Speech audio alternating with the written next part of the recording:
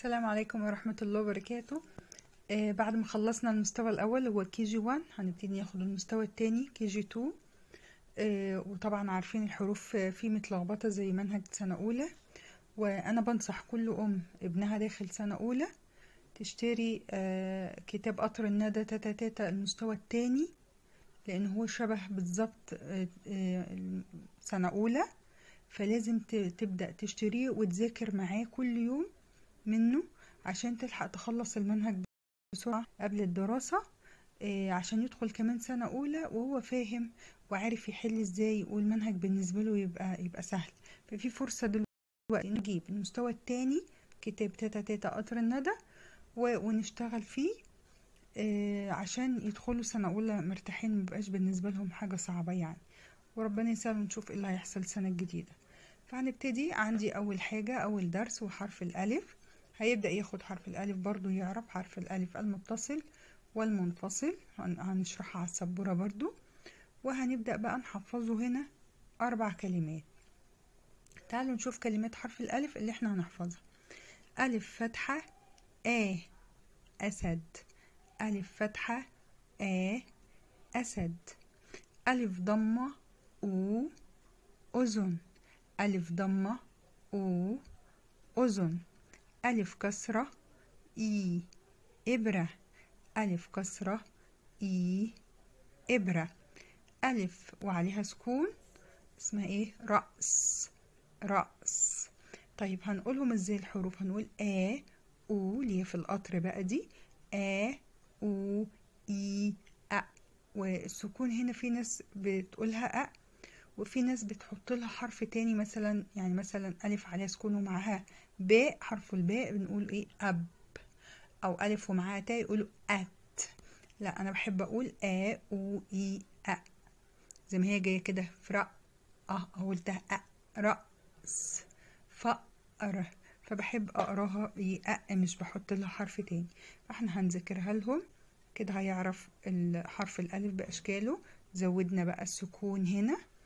آ أو إي أ هيبدأ يتدرب على حرف الألف اللي هو المنفصل بأشكاله بقى بحركاته وحرف الألف المتصل برضو بحركاته. لازم هيعرف بقى هنا الألف المتصل والمنفصل وعليهم الحركات بتاعتهم طيب الصفحة التانية بقى خلاص كده حفظنا الكلمات. الأربعة اللي هي أسد وأذن ورأس وإبرة حفظناهم. نبتدي بقى نحل معاه يعني أول حاجة نعرفه الحروف, بالأشكال بتاعتها واللي هي المتصل والمنفصل ونحفظ الكلمات وبعد كده نبدأ نحل معاهم. هنحل التدريب أول واحد ونفهمه واحدة واحدة لأن هو ده اللي هيحله في منهج سنة أولى العربي. نقول له انطق وارسم دائرة حول الصورة التي بها صوت حرف ألف كالمثال. نفهم ان إحنا دلوقتي. هنقرأ الصور أساميها نقول أساميها واللي هنقرأ فيها حرف الألف هنعمل عليها دايرة زي ما هو عامل لي كده على الأرنوب. وكاتب لي هنا أرنب أ أ أ قلنا ألف راح أعمل عليها. طيب فيل. في ألف؟ لا مفيش ملناش دعوة بيها. طيب ف أ أ آه في ألف أهو. فأر فأر آه قلنا حرف الألف يبقى هعمل عليها دايرة. قلم قلم. لا ما فيهاش. حرف الألف يبقى هنسيبها. يبقى كده أول حاجة نعلمه يسمع أو يقول اسم الصورة ويشوف فيها حرف الألف هيعمل عليها دايرة. هو عرف خلاص حرف الألف الحركات بتاعته إيه؟ يبدأ بقى يوصل كل حرف بالصورة بتاعته لأنه حفظ الكلمات وحفظ الحروف بتاعتها. فهنا أقول له ألف عليها فتحه آ أنهي صورة تمشي معاها؟ هو يدور ويقول لي آ أسد. آه خدت أسد فنوصل حرف الألف اللي عليها فتحة بالأسد. طب أو أو خدناها إيه؟ آه أذن أذن يبقى هنوصل للأذن طيب تالت إي إي أنهي كلمة خدناها إيه إبرة. إبرة يبقى هنوصلها بالإبرة. اللي بعديها أ أو خدناها رأ رأس. يبقى هوصلها بالرأس. وهيرجع تاني يتدرب على الكلمات آه، أسد أذن إبرة. رأس زي ما أنا كاتباهم كده هينزل بيهم واللي هم منقطين دول هيتقل عليهم. أنا مرضتش أتقل عليهم عشان تبقوا شايفين إن دول منقطين. لا هو منقطين هيتدرب عليهم الأول يتقل عليهم وبعد كده هيبدأ يكتب الكلمة لوحده. وطبعا هيكتب الكلمة بالأشكال بتاعتها اللي هي الفتحة والضمة والكسرة والسكون. التدريب اللي بعده نشاط رقم ستة. آه تعالوا بقى نشوف النشاط ده اللي موجود برضو. مع سنة أولى. بيقولي استمع وارسم دائرة مكان صوت حرف الألف كالمثال. يعني مثلا أنا عندي صورة أسد. أسد مكونة من كام حرف؟ هيقولي تلاتة. آ س د. تلات حروف. طب حرف الألف مكانه فين؟ مكانه أول واحد. قلته آ. يبقى هنعمل دايرة عند أول مربع.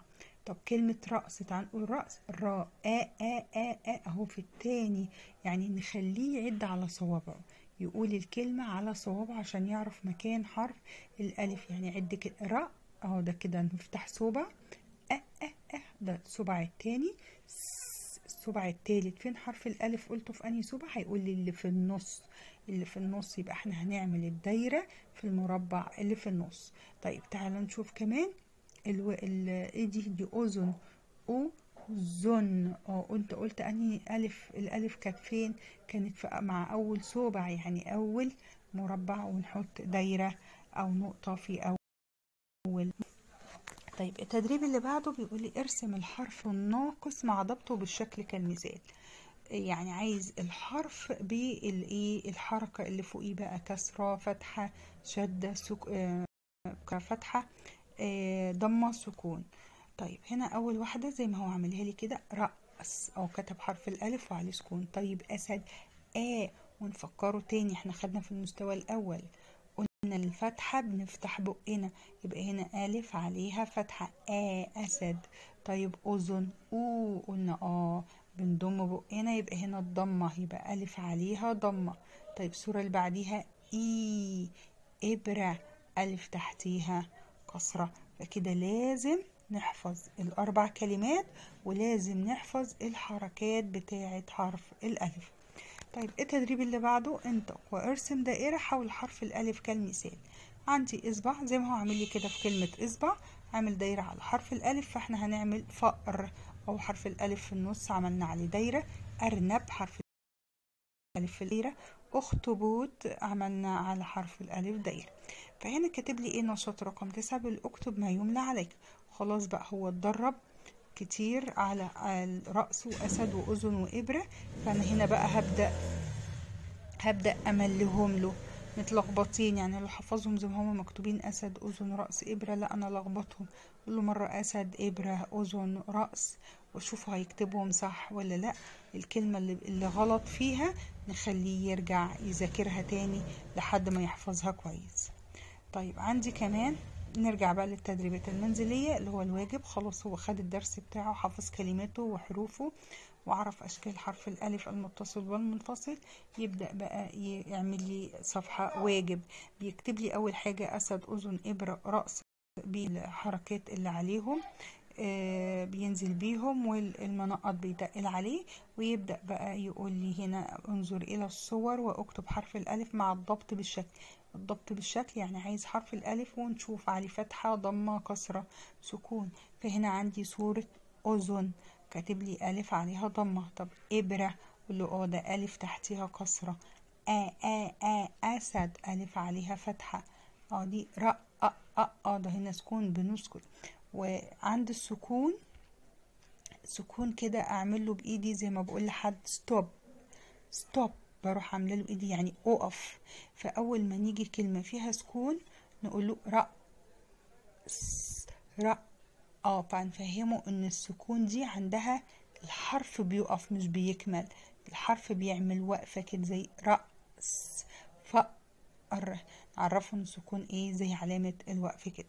طيب هنا أنطق وأرسم دائرة حول الصوت المناسب كالمثال طيب إي إي إي إبرة إي إي إبرة. آه إي نتكله على الإي كده شوية. وده هنا حرف الألف وتحتيها كسرة. طيب ف أهي جت بقى علامة اللي هي stop بإيدي كده أعمل له زي ما بقول له stop أقول له إيه؟ ف ر ف أه ده هنا في إيه؟ في سكون. يبقى ألف عليها سكون. طيب أو أو أو ضمنا بقنا يبقى في ضمة. أخطبوط. يبقى أروح على الألف اللي عليه ضمة. وأعمل عليه دايرة. طيب تعالوا بقى نشوف كل الحرف الألف اللي إحنا خدناه النهاردة. خدنا حرف الألف آه، ادي حرف الألف المنفصل. حرف الألف المنفصل يعني إيه منفصل؟ يعني هكتبه لوحده. يعني إيه اكتبه لوحده؟ يعني مش بيسبق في حرف. يعني لما مثلا أقول أحمد. أه بصوا. لوحده التلاتة دول مشبوكين في بعض لكن هو واقف كده باشا لوحده ملوش دعوة بحد. يبقى هنا حرف الألف ده اسمه ألف إيه؟ ألف منفصل منفصل واقف لوحده مش بيمسك في إيد حد. طيب هنا بقى دي. آه ده حرف الألف المتصل. أهو في شرطة بيقول لهم هاتوا إيديكوا تعالوا امسكوا. اسمها إيه؟ المتصل. طيب متصل زي إيه؟ زي كلمة فقر يعني إحنا رسمناه كده اهو. الفاء هتمسك في ايده. حرف الفاء هتمسك في ايده. زي كلمة فقر. زي كلمة إيه؟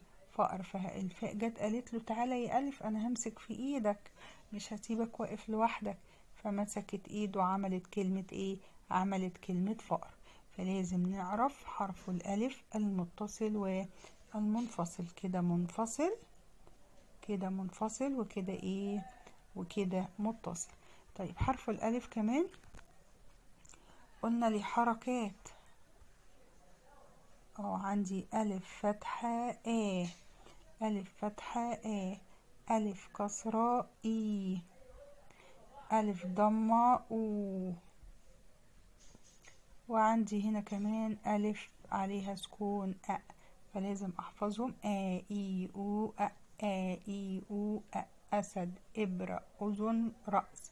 أسد إبرة أذن رأس. آ إي أو أ أسد إبرة أذن رأس. أسد إبرة أذن رأس. آ إي أو أ آ إي أو أ. أسد ألف سين دال ونسمع معاه حروف الكلمات كده يبقى كده هيحفظ. أسد إبرة أذن فأر هيحفظ حرف الألف المتصل والمنفصل هيحفظ حرف الألف بأشكاله الأربعة الكسرة والفتحة والكسرة والضمة والسكون. وأشوفكم إن شاء الله مع الحرف الجاي حرف الميم. السلام عليكم ورحمة الله وبركاته.